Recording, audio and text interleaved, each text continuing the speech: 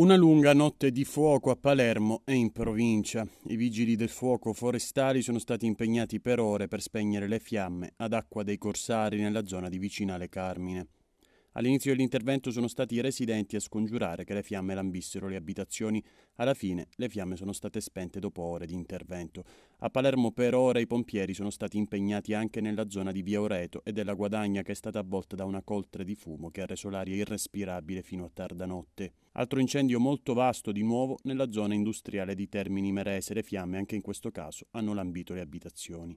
E nella stessa notte appena trascorsa a Palermo è arrivato improvviso il maltempo. La protezione civile regionale ha diffuso un avviso per rischio meteo, idrogeologico ed idraulico valido fino alle 24. Il livello di allerta è di colore giallo. A scopo precauzionale il comune di Palermo ha disposto la chiusura di ville e giardini per tutta la giornata.